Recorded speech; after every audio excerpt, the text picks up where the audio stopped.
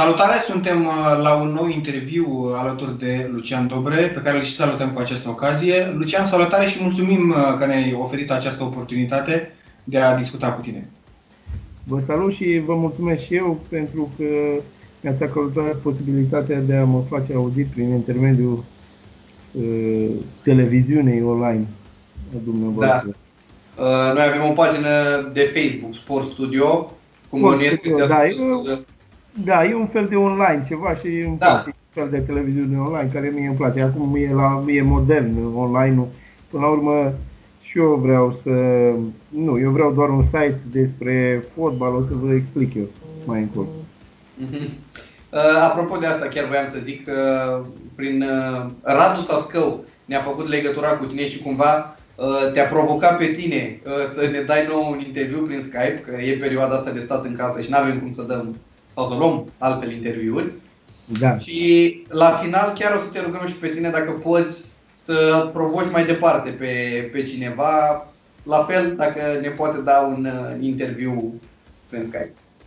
Da, da, nu e nicio problemă. Eu am mai mulți uh, prieteni cu care am jucat, sau contra cărora am jucat.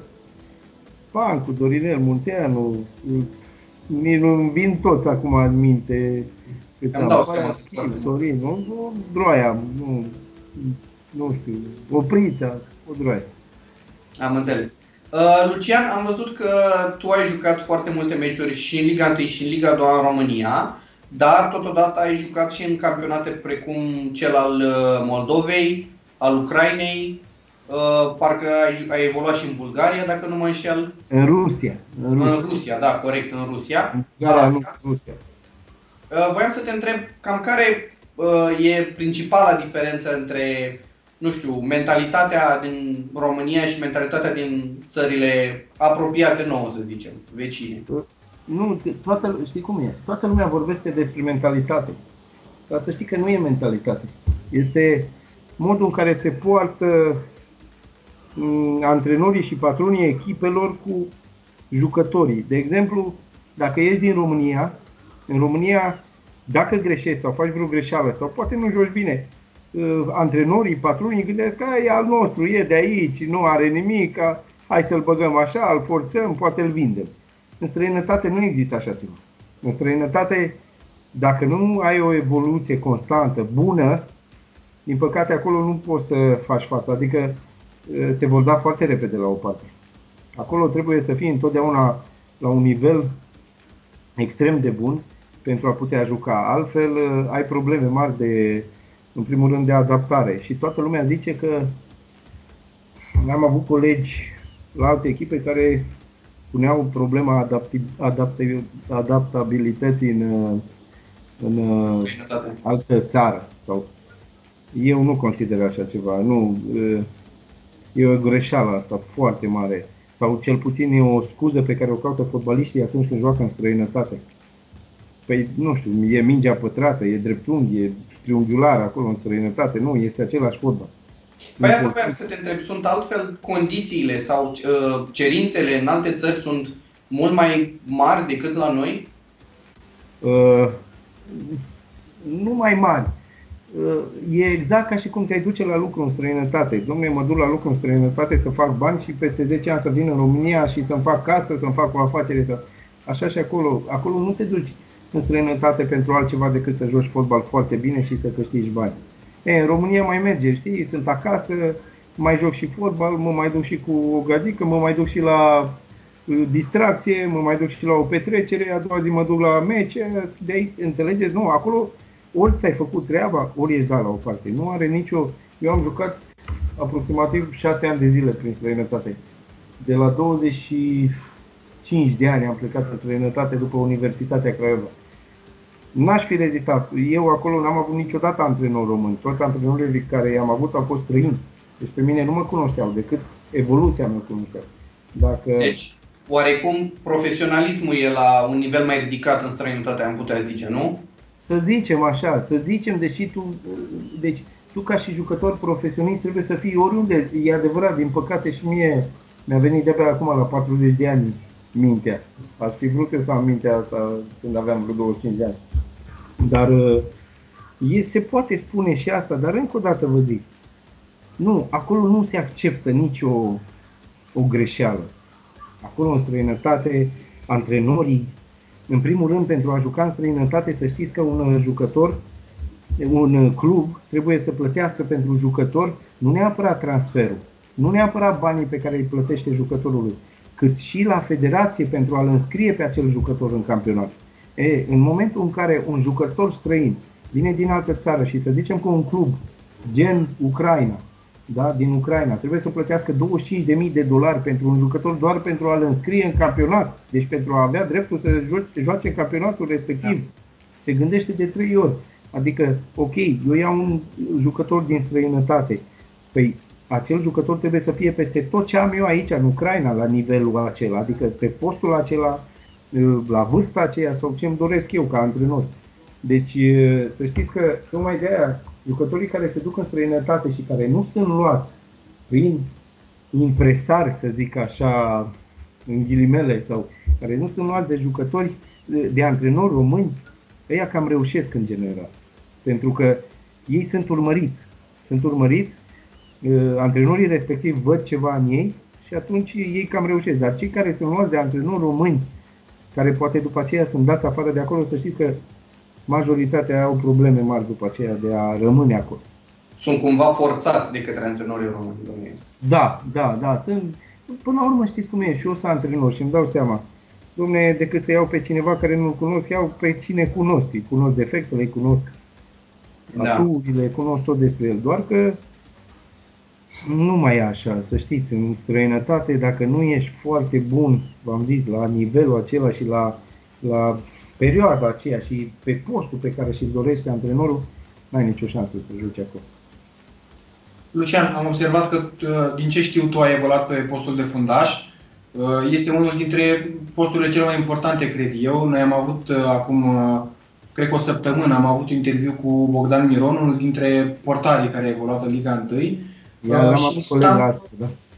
discutam cu el, practic, cât de important trebuie să fii din punct de vedere psihic ca să poți să faci față eventualelor greșeli pe care uh, echipa ta le-ar putea suporta din cauza ta, mă refer. Adică greșeli care te costă jocul, practic. Uh, să știți că eu consider că pe vremuri nu antrenorii noștri de copii și juniori ne-au făcut fotbaliști, cât mai ales noi jucând în curtea școlii fotbal.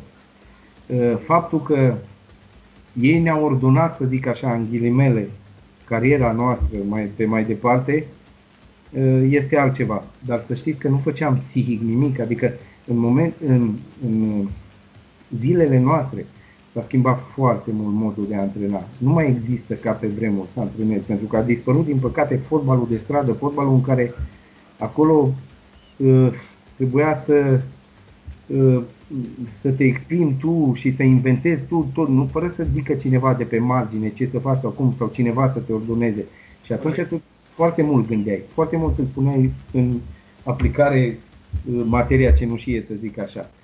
E, uh, eu mi-aș fi dorit să am un antrenor care să mă ghideze, să zic așa, și să mă antreneze și, tu, și din punct de vedere psihologic. Ar fi fost, cred că, cred că la, la fotbaliștii români, la noi, ca români, cred că problema asta este foarte foarte actuală cu, cu modul în care te exprimi din punct de vedere al presiunii care există în timpul meciului. Este foarte actuală această problemă. La antrenamente, din păcate, eu consider și eu cunosc foarte mulți antrenori de copii și juniori. Din păcate, acest uh, aspect se omite, psihicul. Se omite foarte mult și tocmai de aia nici nu reușesc foarte mulți jucători să se exprime, știu eu, la adevărata, sau la adevăratul lor potențial, mai bine zis. Nu știu, psihicul să știți că se antrenează, trebuie să-l și ia, e adevărat, trebuie să te și naști cu ceva, dar se și antrenează. Toate capitolele și toate uh, părțile unui antrenament, psihic, tactic, tehnic, uh, au rolul lor. Fizic, uh, teoretic, toate, toate se antrenează mai nou, toate, absolut toate. Problema e că trebuie să fii atât de inteligent ca antrenor și să și studiezi, pentru că nu are nicio legătură faptul că ai fost fotbalist cu faptul că antrenezi în momentul ăsta. Să știți că e diametral opusă uh, profesia asta. Este total pentru mine, în momentul când m-am lăsat de fotbal, am crezut, mamă, gata, știu să antrenez. Și în momentul când m-am înscris la școala de antrenor, mi-am dat seama cât de, în ghilimele, sau eu știu, la propriu, cât de prost sunt și îmi dau seama cât, cât de greșit am gândit că pot antrena, fără să studiez. Uh, eu consider că uh, aspectul ăsta psihic e foarte important. Nu știu, eu cred că e din partea mea este, este cel mai important. Da, este peste 80% uh, din, știu eu, nivelul la care poate să ajungă un jucător. Păi uite, știm, de exemplu, cazuri din Anglia, unde fiecare jucător are psihologul propriu. Știm uh, asta de la antrenori precum uh, Guardiola, care chiar el a recunoscut asta. Și un exemplu, un contraexemplu, în România avem personaje care spun ce le trebuie psiholog la echipă, deci nu la jucător, la echipă, când uh, ei merg la biserică. Adică uh, sunt niște chestii care nu, se bat Nu, o să vă explic care e situația. Să știți că și noi la Astra, la un moment dat, am, a, am avut psiholog la echipă. Și într-adevăr, fotbaliștii știți cum sunt plini de Caterinca, mai Caterincoși, dar uh, n-am fost crescuți în felul ăla. Nu știu ce se întâmpla dacă noi aveam de mici așa ceva. Noi n-am fost crescuți. Deodată, la vârsta de 25 de ani, pac, apare un psiholog la echipă care te pune să faci anumite chestii care ție ți se par absurde. Deci nu ești crescut în spiritul ăsta. Ăștia ar trebui, deci cluburile din România ar trebui să facă așa ceva de mici de la copii mici. De la copii mici în care, mici, nu mă refer de la 5-6, nu știu, e, nu, nu e domeniul meu psihologia. Psihopedagogia am făcut, e adevărat, dar psihologia e puțin mai, mai complicată, trebuie facultate, trebuie, vă dați seama, doar că cred că psihologii știu mai bine cam de la ce vârstă sau cum ar trebui să acționeze pe fiecare nivel de vârstă, dar ei spun așa, cel, cel care a spus, ce personaj a spus așa, uh, stai ca tine, ce personaj a spus, uh, tăiat voi, nu știu, ce personaj, ce pe, nu știu ce personaj a spus așa ceva, dar se înșeală amarnic, amarnic se înșeală. Uh, totul este de psihologie, la fotbal, absolut gândire, psihologie, totul și nu numai la fotbal, să știți. În toate sporturile. Nu, și în viață, să știți că da. Dacă eu vin și vă zic în fiecare zi, ne întâlnim în fiecare zi, eu sunt șeful, uh, nu știu, vostru, și vă zic în fiecare zi, băi, e slab, e, nu știi nimic, să știți că după vreo 2-3 ani încep să crezi că așa e și să te și porți așa. Eu sunt convins că psihologia este unul dintre, uh, sau este una dintre materiile care ar trebui de, din clasele mici predate. Absolut din clasele mici. Pe până la urmă, psihologia face motivația corect, corect. mai ales jucătorului. Vă dați seama, este... Nu, eu v-am zis, psihologia este foarte importantă. Păi, un alt exemplu care uh, confirmă acest lucru este chiar Simona Halep, care, de care știm că și-a schimbat mult comportamentul din teren de când îl are alături pe Darren Cahill, spre exemplu, și chiar recunoștea și ea că Darren a făcut-o cumva să se tempereze în anumite momente. Da, eu asta zic, uite, de exemplu, până și Klopp. Klopp știți ce are ca meserie de bază, nu? Psiholog. Deci, deci meseria lui e, de exemplu, dacă o firmă are probleme sau o companie, șeful companiei îl cheamă pe Klopp și zice, domnule, motivează oamenii cumva să ne revenim. Înțelegeți? Da. Este, dar, de exemplu, am citit despre uh, basketbalist, despre ăsta, cel mai cunoscut din toate timpurile. Uh, Bryant? Nu Kobe, nu Kobe. De, zicea că nu sare așa mult, deci era Michael mai mic. Jordan, Michael Jordan, așa. De, de exemplu, am citit despre Michael Jordan că uh, el, cu primul milion de dolari pe care l-a câștigat după un contract, și-a angajat trei antrenori. Deci unul a fost tehnic, unul pe tehnică, unul pe tactică și unul a fost un, uh, un psiholog. un psiholog care trebuia să-l motiveze tot timpul și una dintre motivații era aia, deci el povestea, uh, Jordan povestea că una era tu nu ești în stare de nimic, tu nu poți nimic, dar uh, rar folosea, doar ca să-l ambiționeze. Și la un moment dat a povestit că Jordan era să se retragă, deci era la o vârstă înaintată, vrea să se retragă și au jucat, nu mai știu cu ce echipă, a povestit el și echipa cealaltă îi bătea. Până când la un moment dat, el fiind de vârstă, a venit la el unul care a dat un coș, unul dintre NBA, de acolo din jucătorii de la NBA și a zis, e bătrâne așa se dau, se dau coșuri. Atât i-a trebuit lui uh, Jordan. S-a dezbrăcat și a dat jos bluza și a zis, da, a câștigat meciul Jordan. Pentru că a fost ambiționat de... Uh, este foarte... De asta zic, psih, psihicul este foarte important pentru un jucător profesionist, pentru un sportiv. Este foarte, foarte important. Lucian, uh, am vrea să te mai întrebăm un lucru. Avem noi pe pagina acum uh, un fel de concurs. Vrem să alegem sau să vedem ce aleg românii, cel mai iubit sau cel mai bun sportiv român. Am avut ieri sau alaltă ieri, alaltă ieri, un duel foarte interesant în optimi între Gheorghe Hagi și Nicolae Dobrin. Și aș vrea să te întreb cine crezi tu că a câștigat și pe care l-ai fi ales tu? Eu pe Dobrin nu l-am cunoscut decât ca și antrenor, să știți. Pe Hagi, în schimb, l-am cunoscut și ca jucător și ca fotbalist. Și spre surprinderea mea, eu am fost chemat la națională de către Hagi. Presa grăvește puțin diferit, ca fiind puțin îngânfat, puțin, știu eu, prea da, mândru, să zic așa. Da, de înțeles niște lucruri. Da, puțin prea mândru, dar să știți că pe mine m-a surprins extraordinar. E de o modestie ieșită din comun.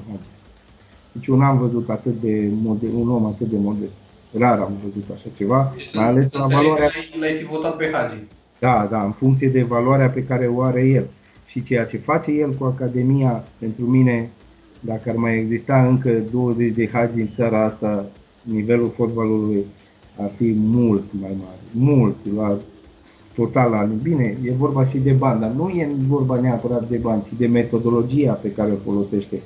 Am citit cartea lui, este o carte extraordinară, deci schimbă, sau nu că schimbă, că noi aveam percepția asta la noi, la Mundo, dar schimbă oarecum percepția față de, față de cum, cum să vezi fotbalul. pe care o folosești și cum înțelegi fotbalul, da, da, da. Este foarte important, eu v-am zis, toată lumea zice de jucătorii de acum, cei mari, din păcate nu îi sunt de vină că suntem unde suntem aici, ci noi, antrenorii de copii și juniori, care, din păcate, eu vă zic, 90% dintre antrenorii de copii și juniori nu studiază. Nu poți să studiezi, să nu studiezi și să fii profesor. Nu ai cum, e ca și cum vrei să predai teorema lui Pitagora și tu nu o știi. Este foarte dificil așa ceva. Am, am întâlnit și noi cazuri de genul ăsta știm foarte bine, am participat la niște competiții de fotbal juvenil de aici din Bacău, de unde suntem noi și uh, chiar vorbeam cu Daniel. Erau niște antrenori care uh, copiii din echipa lor ajungeau undeva la colțul terenului și antrenorul striga shoot, shoot. Și noi nu înțelegeam, adică... Deci, în, prim, deci, în primul rând, noi trebuie antrenorii să-i facem să gândească singur pe copii, nu să le zicem noi ce să facă. E ca și cum ai copia la test, ca și cum da. ai zice, vezi că fac 1 plus 1, fac 2. Și atunci, și atunci, imediat, și atunci, eu, să știți că eu am făcut un proiect destul de frumos și eu i-am zis și lui Radu, destul de frumos în Reșița și în Cara Severin. Eu tot timpul m-am gândit cum să facem să găsim cât mai mult copii care să vină la fotbal. Eu sunt dintr-un oraș, da? Și atunci ce am hotărât? Am hotărât să fac mai multe filiale în județ. Deci copiii nu pot să vină din, de la 20, 30, 40 de kilometri la noi. Și atunci ne-am gândit să ne ducem noi la ei. Mergem noi la ei, îi antrenăm acolo, e adevărat, condițiile nu sunt condiții ideale, dar știți cum e? Și Pele s-a antrenat pe stradă și Ronaldinho. Corect, și, și de cât de loc, important, un mare pas înainte. Important e ca ei să cunoască principiile fotbalului, să cunoască despre ce regulile, să cunoască ce înseamnă să joci fotbal, să cunoască principiile vieții în general, nu ale fotbalului. Să știți că sunt strâns legate una de alta. Da, Lucian, îți mulțumim uh, foarte mult. Chiar uh, ne-a făcut plăcere să ne împărtășești câteva lucruri, câteva de desubturi, ca să zicem așa, pentru că, așa cum uh, îi spuneam și lui Florentin Petre acum două săptămâni, așa cum îi spuneam și lui Bogdan Miron, este important pentru oameni, în primul rând, să știe în primul rând care sunt de desubturile, pentru că, așa cum a spus-o cineva, la politică și la fotbal suntem primii. Însă nu știm exact, în primul rând, ce presupune să fii fotbalist, în primul rând, ce presupune să ții o echipă și ce presupune să motivezi niște copii în momentul în care ești antrenor de copii și juniori. Antrenorul de copii și juniori, vă zic, e un formator de viață. Nu ne deci, ei trebuie, antrenorii trebuie să înțeleagă un singur lucru. Școlile de fotbal sunt formatoare de caractere. A, că acel copil ajunge fotbalist, este un bonus, e cireașa de pe tort, să știți. Eu, de exemplu, am vorbit cu, uh, cu, antrenor, cu directorul sportiv de la Milan, uh, Massimo Lucchesi, a fost el la un moment dat acolo la Milan, a fost director sportiv și eu i-am pus o singură întrebare. Cine de la Milanieze, că ceva de genul ăsta se cheamă uh, centrul lor de copii și juniori, ajunge la AC Milan, la prima echipă? Și am întrebat, după aceea tot eu am continuat, cel mai bun? Și el a zis nu, cel mai respectuos, cel mai modest, cel mai uh, care uh, uh, este, se antrenează cel mai mult, cel mai ambițios, nu neapărat cel mai bun, să știți. Și tocmai de aia, pentru a fi așa cum zice el, să ajungi la Milan, ai nevoie de a fi caracter. Gândiți-vă câți dintre fotbaliștii noștri au ajuns la Internaționale Milano, la, la alte echipe de top, de, la o vârstă fragedă și totuși s-au întors înapoi. S-au întors da. înapoi pentru că, din păcate, caracterul acolo, eu v-am mai zis, acolo nu este mamă e dobre, hai să-l ținem pe, pe brațe sau nu știu ce. Nu, acolo dacă nu joci bine, te dă la o parte, indiferent câți bani dă pe tine. Uitați-vă la Real Madrid, englezul de, de cum îl cheamă, cum am scapă, uh, Gareth Bale, Gareth Bale, uitați-vă, da. contează câți bani dă pe el. Asta de rezervă, stă rezervă, stă dau la o parte, vor să scape sau să vă dați seama. Deci nu, nu, acolo nu există. Suta de milioane a dat el l-au dat la o parte. Nu a dat randamentul care ei îl contau, de, îl așteptau. De. Înțeles. Da, Lucian, îți mulțumim din nou încă o dată și Eu? te invităm uh, totodată să participi la concursul de pe pagina noastră, să votezi dintre preferații tăi. Tocmai am dat startul la confruntarea dintre Ion Țiriac și uh, Ilie Năstase. A, păi e clar Ion Țiriac, te depășești de gândire. E mentorul lui Ilie Năstase. Cum comparăm uh, profesorul cu elevul. Până la urmă. Bine, eu vă mulțumesc. Da. Eu vă mulțumesc și vă urez mult succes cu pagina de Facebook, cu televiziunea asta online, cum îmi place mie să-i spun. Și eu o să provoc și eu pe alții și cu siguranță o să mai aveți. Și eu consider că o să, foarte mult. o să vedeți. Bine? Mulțumim foarte mult. Mulțumim și sărbători cu bine, Lucian. La fel, la fel, Paște fericit tuturor.